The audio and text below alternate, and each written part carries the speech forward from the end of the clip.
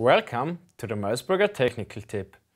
Today we are going to show you how you can simply and easily put together a die set with our die set wizard.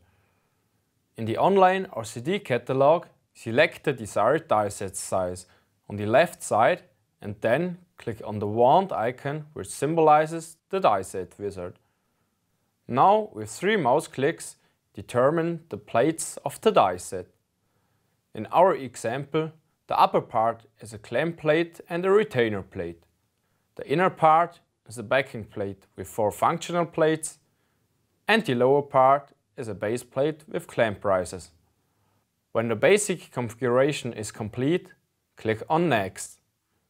The selected die set is displayed on the top left and the first plate to be determined is marked green.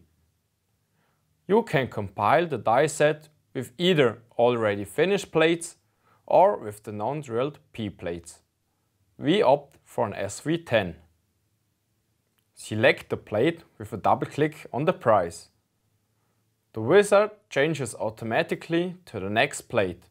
Mark green here. Here you can decide if the pillar is mounted on the top or at the bottom. We opt for the pillar mounted on top and therefore select an SV40.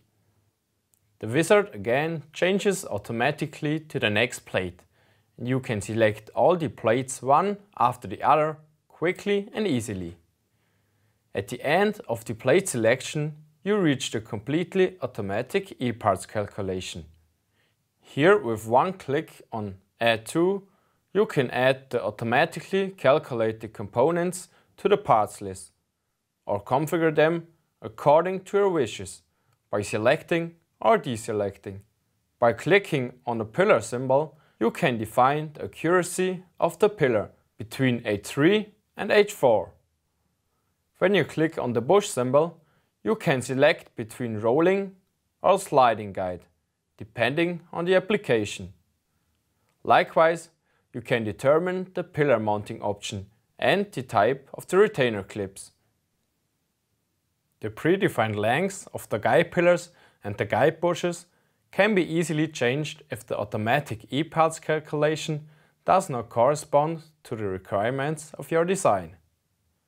Since now the accessories have been defined accordingly, we add them to the parts list by clicking on the button Add to.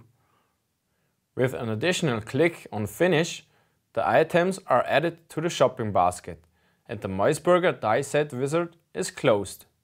You can see the complete parts list of the selected die sets in the shopping basket and the corresponding list price. From here it is possible to save the parts list, transfer 3D models to the CAD and much more. With the Meusburger die set wizard you can therefore compile the appropriate die set in a few minutes and quickly and easily create the preliminary calculations for the die.